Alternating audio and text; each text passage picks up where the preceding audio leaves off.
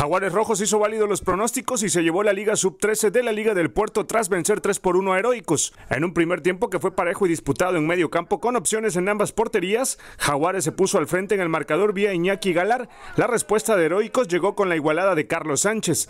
Ya en el complemento, Jaguares se fue al frente nuevamente en el marcador con gol de Emilio Riggiori, anotación que les dio confianza para seguir atacando y encontrar el tercer tanto, obra de Iñaki Galar, que dejaba el marcador final de 3 goles por 1 para los Jaguares rojos. Partido complicado, veníamos nerviosos, aunque terminamos ganando dando el resultado con una jugada de mi compañero Diego Herrero, que pues, fue un, partido donde de ida y vuelta, nos, eh, la jugada, tuvieron jugadas peligrosas de los dos equipos, pero terminamos ganando y pues mm, siento que nos los merecíamos por la temporada que habíamos hecho.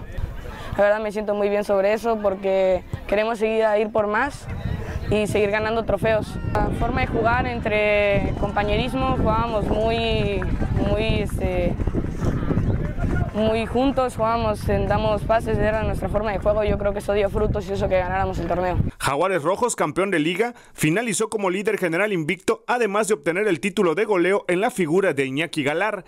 RTV Más Deportes, Mauro Sandoval.